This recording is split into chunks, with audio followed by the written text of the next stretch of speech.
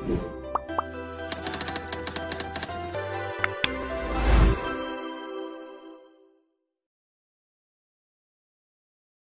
good morning, children. So today we have Saksham Gaba with us, and Saksham is doing his post uh, his uh, BSc honors in statistics from PG DAV, DAV College, Lajpat Nagar, which is a, a, part of Delhi University. So today Saksham is going to talk about his course and the eligibility and various career options and possibilities which are there with this course.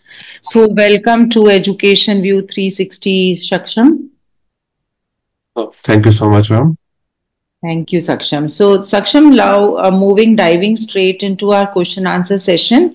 First of all, please tell our students that what is the eligibility for the course if they want to take up BSc honors in statistics from Delhi University.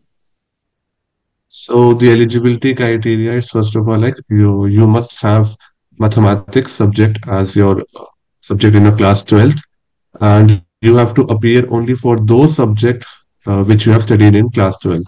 So math giving a mathematic paper is compulsory and you must have prior knowledge about it also. Excellent. So I'll just summarize, Saksham, what you said. So children, basically for CUET, if you are looking at Delhi University, Saksham said for BSc Statistics Honors, you have to have maths as a compulsory subject. Then you also have to write CUET for one language and any language you can choose from the list which is available in the bulletin of information. And then you can choose any two other subjects but the condition is that you should have studied those subjects in your class 11th and 12th level. All right saksham so uh, just tell our students what should be the approximate uh, marks that they should expect to get admission in a good college and before that i would request you to tell the students which are the good colleges in delhi university that offer this course so there are only 10 colleges out of like a numerous amount of colleges that uh, only statistics uh, are uh, offered. So from 10 colleges, I'll tell you the, uh, from 10 colleges, I'll tell you the first five uh, colleges that are very good. So first of all, this is uh, Hindu, which is located in North Campus. Then it is Lady Shri Ram College for women's only. And there is, then there is Kirori College, then there is Ramjas College, and then the PGDAV College. The uh, this the top five rankings are just based on the uh, teaching, the faculty. The faculty are, I'll say, very good over there. I'm not talking about the environment and any other kind of uh, uh just stuff you can talk about, but I'm just talking about the uh, teaching stuff. If you place other activities over it, then the uh, ranking will be changed. And for getting a good marks, I'll tell uh, 720 uh, plus from uh, out of 800 will be a good structure to get into top these colleges also. All right. So, students, uh, thank you, Saksham, for giving a list of the top five colleges. And students, so uh, 720. So that means you should aim for anything above uh, 730 or 740 to be on a safer side because day after day the competition is also increasing for Delhi University. And the aim should be to get into the best of the colleges. Perfect. Saksham, so moving on to our next question now uh, after you've told us the eligibility and the marks. So uh, uh now let's assume that students have cleared their CUET. What is the next step then? What do they do? The next step is from to uh, fill up a form from CSAS portal, which is uh, after the examination and after the result, the university will uh, give you. So after then, you have to prepare a preference sheet. So that's where the like the most important part comes so filling up the preference sheet, I think that it's very important for student and you have to fill it very wisely also. So in my case, I do get a 720 marks, but uh, didn't get any Hindu or, or North Campus because uh, I didn't wisely fill up my preference sheet. So I'll all apply. So I'll tell you to uh, please fill it wisely as per according to the ranking, as per what your marks you have get. If you get a very low marks, but I'll say you didn't get any 720 out of like an, an above, you get a 600 or even 550. You can still get a Delhi University in statistics honors, but you have to wisely fill your preference by you should fill like uh, last five colleges so that you can get admission over it.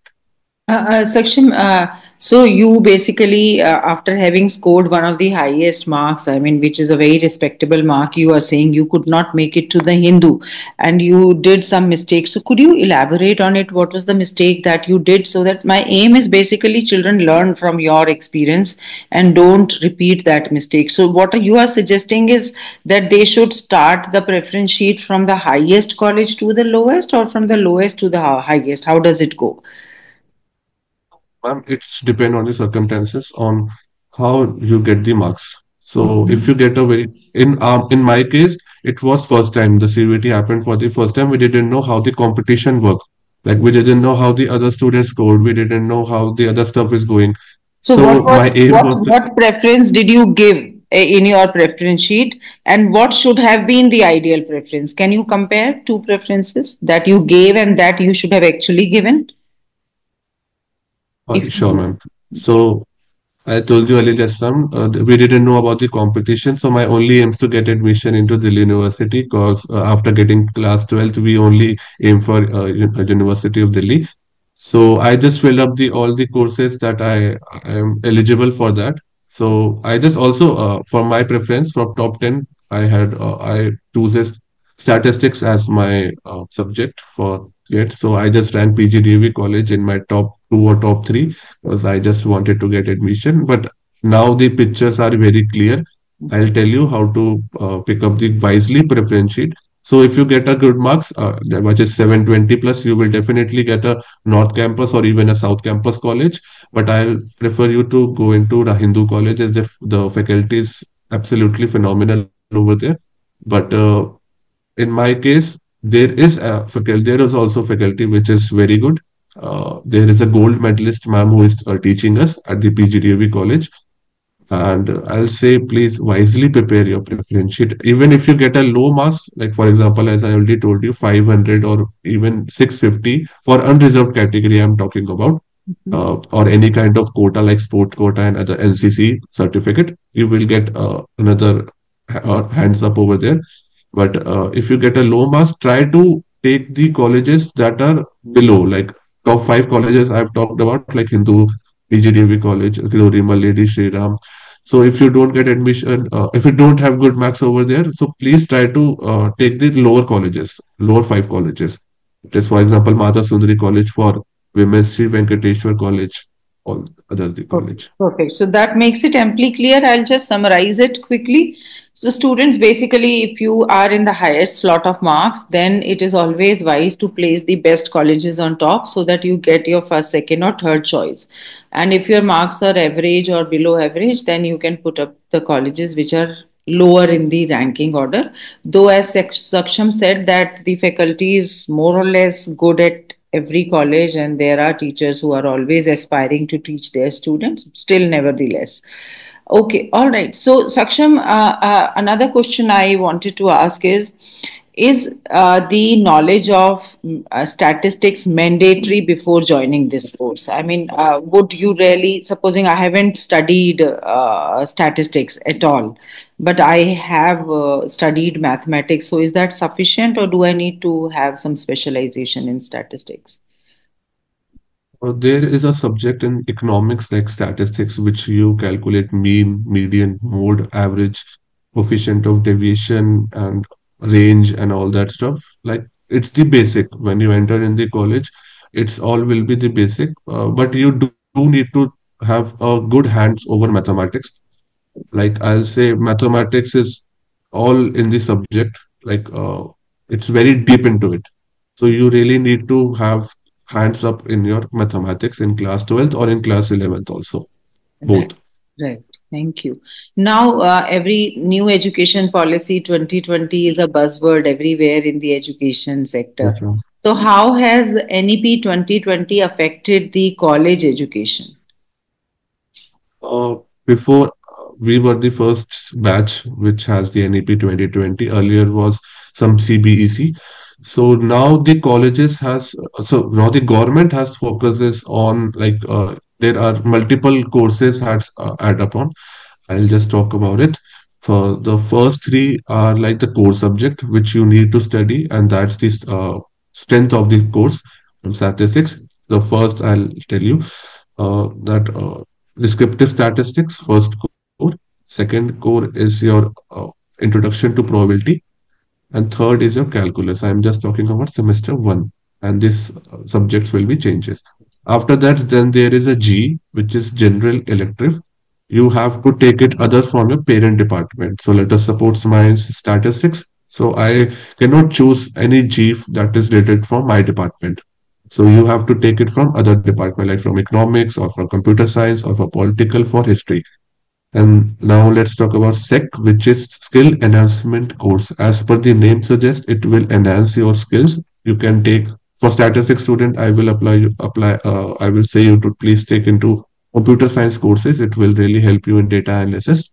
So you can take Python, you can take R, you can take SPSS, you can take multiple numerous options are also there. And not for any kind of uh, computer science, there are also Hindi courses like Rachnatmak Lekhan, and all there are different kinds of courses which are available so now it's another uh, VAC, which is value addition course. As the name suggests, you can value added into a course. So you can take Vedic math, you can take finance in everyone, and you can take communication in professional life. You can take communication in everyday life. There are multiple choice of question which are which the college gives you. And then there is AEC.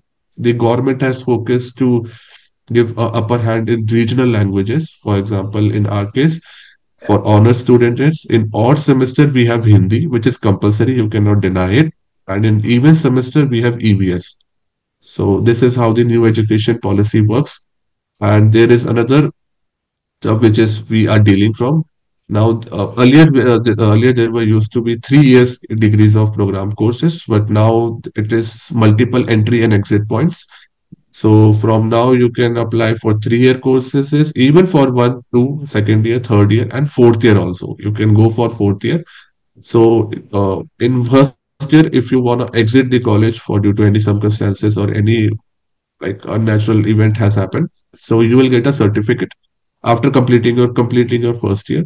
After you exit for second year, you will get a diploma uh, exiting from a third year, you will get an honors degree if you have an honors course. If you have a program course, you will get a program course degree. Even uh, if you want to continue for fourth year, you will get a honors plus research degree for honors students. And if you have a program course, if you continue for fourth year, you will get an honors degree. So let's talk about like a BCom program. After exiting from third year, you will get a program degree. But after exiting from fourth year, you will get a BCom honors degree. So that's how the structure of NEP works. That's amazing because there are a lot of students who sometimes aspire to take up the honors course, but because of less marks in their uh, uh, CUET, they are not able to make it. So there's another opportunity waiting for them. They can study for one more year and they can convert their pass course, general pass course, into honors course. Perfect. All right. So uh, uh, you've given a lot of detailed information. Now, uh, uh my only uh, question is that how, where do you see yourself? What sort of work you uh, see yourself doing after doing this course in terms of your career and job? So, data analysis words is now trending all over the world and even in India. So we we are the actual meaning of data analyst after completing your BSc, you can apply for MSc or like MSc from anywhere. You can go for abroad also and in Delhi University also.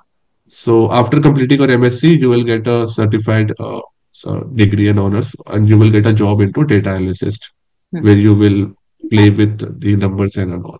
Yeah, I think it's not, not, only trending, I think it's the need of the hour. So much data is being generated from all the platforms across the globe. So somebody like AI also is trending. Correct. Yes, Somebody has to analyze and make sense of all that data.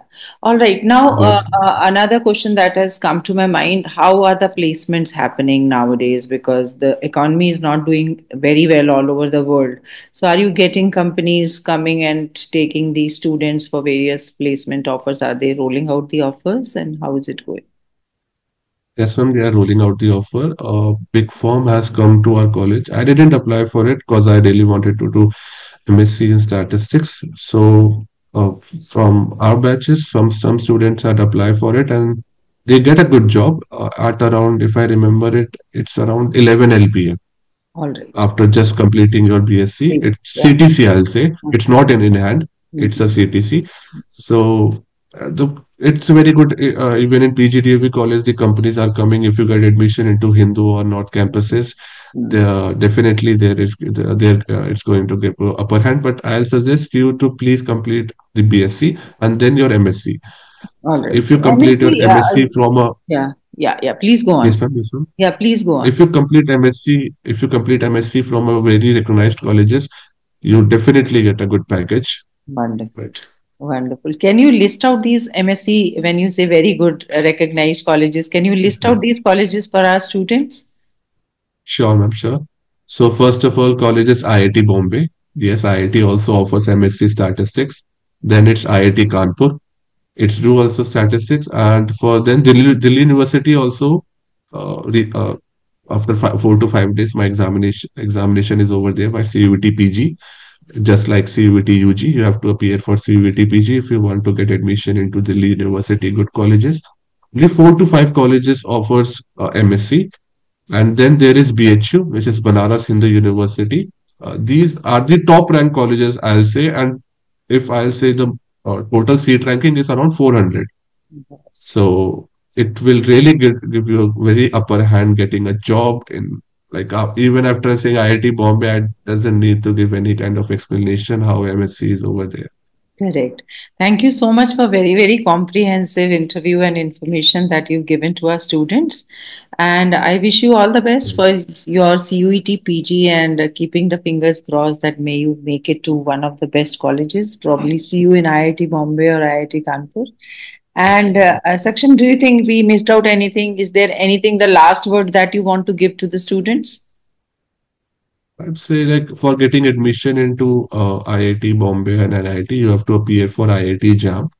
So if you really wanted to pursue MSc after com- after not completing during your BSc, so you really need to work on it. Get in.